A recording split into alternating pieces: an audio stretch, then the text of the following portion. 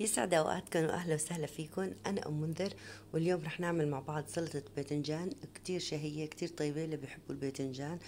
هذا الطبق آه، هو طبق من السودان بسموه الباذنجان الأسود فبسموه سلطة الأسود. جبت هون عندي خمس حبات من الباذنجان. هاي الباذنجان صغير يعني مو كبير. إذا بدكم تجيبوا الباذنجان بيكون كبير خذوا ثلاث حبات بكفي. كانوا عندي هيك شوي مايلين يعني ما خرج إني احفرهم واحشيهم فقلت بعمل هاي السلطة. بقشرهم هلأ بهاي الطريقة يعني بقشرهم إقلام إنه بحيث يبين شوي الجزء الأبيض وفيكم تقشروه بشكل كامل كمان بيصير. من بعد ما قشرتهم هلأ هيك بدي اقطعهم بقطعهم مكعبات تكون كبيرة شوي. يعني هلأ وقت نقليهم نحن رح تلاقوا القطعة صغرت شوي. فيفضل تقطعوها يكون الحجم آه، كبير بهالشكل هذا. بقطع الكل بنفس الطريقة وباخدهم لحتى أقليهم. بزيت غزير حطيت الباذنجان بحط كامل الكمية. طبعا أنا هون أخذوا عندي على وجبتين يعني ما حطيتهم كلهم لأنه كانت عندي المقلاية شوي صغيرة. بس أخذوا لون بقيمهم بطالعهم بحطهم على جنب لحتى نكفي باقي مكونات الأكلة. أخذت حبة فليفلة وقطعتها كمان بشكل متوسط يعني. إذا بدكم تستخدموا الفليفلة الحارة كمان بيصير. يا ريت تكتبوا لي بالتعليقات من أي بلد عم بتتابعوني. إذا عندكم استفسار عن هذا الفيديو أو أي فيديو قديم اكتبوا لي كمان أنا بجاوب على كل التعليقات.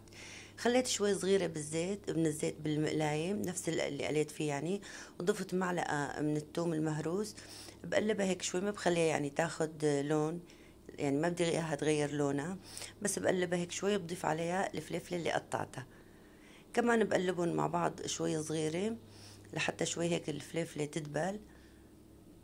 بعدين بدي أضيف عليها آه شوي من آه دبس البندورة. كمان بحرك دبس البندورة هيك معاهم شوي. هلأ المكون الأساسي واللي انت رح تستغربوه شوي هو آه، زبدة الفول السوداني. هذا هاي الزبدة ممكن انتو إذا ما عندكم فيكم تعوضوها بالطحينة آه، اللي بتكون محمصة. رح أحط أنا معلقة من هاي الزبدة. هي بتعطيها يعني بتختر بتلاقوا الصوص بصير شوية تقيل كثيف يعني بصير. هذا هو اللي بيميزها لهي السلطة. مثل ما قلت لكم إذا عندكم من هي الطحينة اللي بتكون محمصة بيكونوا محمصين السمسم بعدين عاملينه بصير. وإذا ما عندكم حطوا طحينة عادية. يعني أنا أحيانا ما بكون عندي فبضيف الطحينة. يعني أي نوع من الطحينة حطوا تقريبا شي معلقتين أو ثلاثة لأنه هي الزبدة شفتوا كيف بتكون كثيفة شوي؟ فأنا حطيت من زبدة الفول السوداني معلقة وممكن تحطوا معلقتين كمان بصير. بقلبهم لحتى تفك شوي الزبدة والدبس البندورة بفكوا شوي وبحركهم هيك مع بعض لحتى آه، كلهم ياخدوا من نكهات بعضهم. مثل ما قلت لكم إذا عندكم الطحينة استخدموها تعطيكم تقريبا نفس الطعم. كمان هون عندي عصير ليمونة وحدة اللي بيحب يضيف خل كمان بيصير. يعني ممكن تضيفوا خل بدال الليمون أو ممكن تضيفوا ليمون وخل مع بعض. يعني ممكن تحطوا شوي من هاد وشوي من هاد كمان بيصير.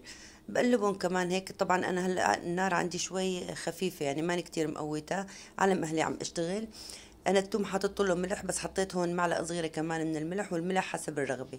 كمان ضفت معلقة من صغيرة من الفلفل الأسود وآخر مكون هو الكمون. حطيت هاي هي البهارات اللي بيستخدموها بالعادة بهذا الطبق. طبق كتير كتير ظريف. آه، صدقوني رح يعجبكم كتير إذا بتحبوا الباذنجان. رح اضيف عليها كوب من المي. وبخلطهم مع بعض هيك بهالشكل هذا. وبتركها هلا لحتى تلاقوا الصوص بلش يتقل. شايفين كيف؟ يعني ما عاد هيك مريق بتلاقوا صار يشد على حاله. طبعا هي الطحينة أو زبدة الفول السوداني هي اللي بتعطيها هاي الكثافة. بعدين رح نزل عليهم الباذنجان اللي قليناه مع بعض. يعني هاي الكمية من الباذنجان بتحتاج هاي هل مثل ما قلت لكم هاي المقادير من المكونات الثانية بدكم تعملوا الباذنجان الكبير كمان بيصير. أه هلأ في البعض بحب يهرسها هون هن بيحبوا مثلا ممكن إنه بالمعلقة نفسها تصيروا هيك تهرسوها أو تجيبوا مثلا هراس البطاطا بتهرسوها يعني لحتى الباذنجان كله آه، ينهرس ما يضل هيك قطع حسب ما بدكم أنتم.